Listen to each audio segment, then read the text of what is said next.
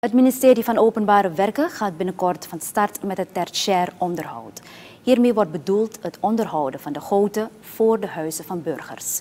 Minister Riyad Noor Mohamed zegt dat de primaire en secundaire onderhoudswerkzaamheden, namelijk het ophalen van de kanalen en trensen, reeds zijn uitgevoerd. Op urgente plekken is het ministerie reeds begonnen met het ophalen van de goten.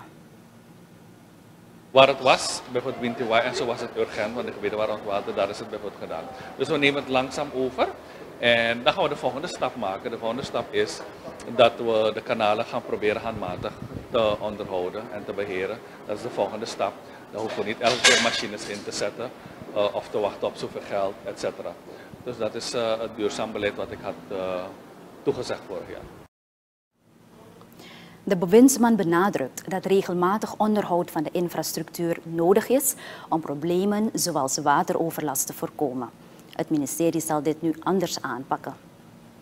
Maar wat we nu doen, dus uh, je weet ik had een keer gezegd, we gaan de grote kanalen eenmalig ophalen. En dat gras kunnen we in het vervolg met gewoon trekhaken uh, onderhouden. Dat bespaart ons miljoenen, dus dat gaat de volgende fase zijn.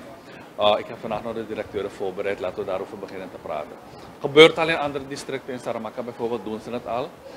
Uh, dat gaat duurzaam beleid zijn, bespaart ons miljoenen. Uh, en we kunnen heel veel mensen aan het werk zetten. Wat betreft um, sommige locaties, uitdiepen en zo, dat ga je met een poklijn moeten doen. Dat doe je eens in de drie tot vijf jaar. Dus dat blijft. Um, wat uh, de kleine goten betreft gaan we ook dit keer een hele beurt geven landelijk. Uh, als het kan, als de middelen goed uh, vrijkomen. Maar daarna moeten we het regelmatig wel zelf met een schop onderhouden.